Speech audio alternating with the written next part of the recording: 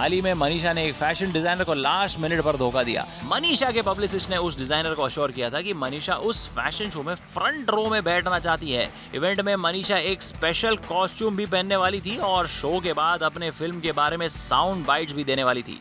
उस डिज़ाइनर ने मैडम मनीषा के लिए बिज़नेस क्लास टिकट बुक करवाई। मनीषा ने कंडीशन रखी थी कि वो सिर्फ़ अपने स्टाफ के साथ काम करती है, इसलिए उनके मेकअप मैन को अलग रिम्यूनरेशन भी दिया गया था। इतने सारे पैसे खर्चा करने के बावजूद लास्ट मिनट पर मनीषा ने उस डिज़ाइनर को ठेंगा दिखाया।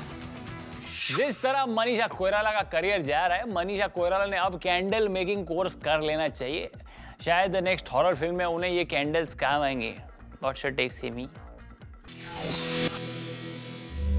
दूध का जला छांस को भी फूंक फूंक कर पीता है। मनीषा को लगा था कि भूत के बाद होगा उनका ग्रैंड कम लेकिन उन पर तो लग गया है अनरिलायबल होने का टैग